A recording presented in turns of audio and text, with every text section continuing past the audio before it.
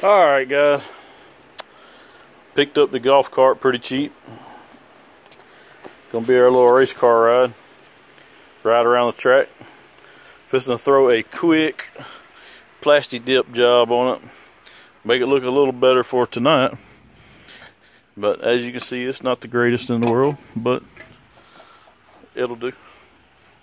Got spare tire on it. I had to paint that paint that to make it match. But here it is does have the seat, but anyway, here she is.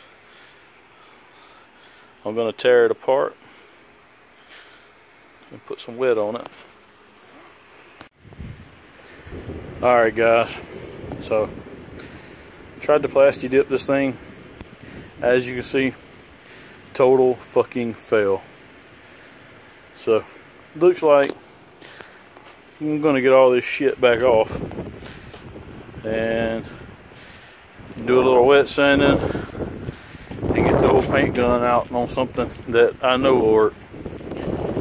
This stuff just pitted up, turn into immortal shit.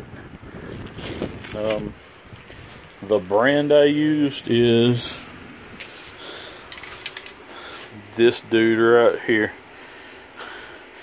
Easy peel my ass does not come off that easy.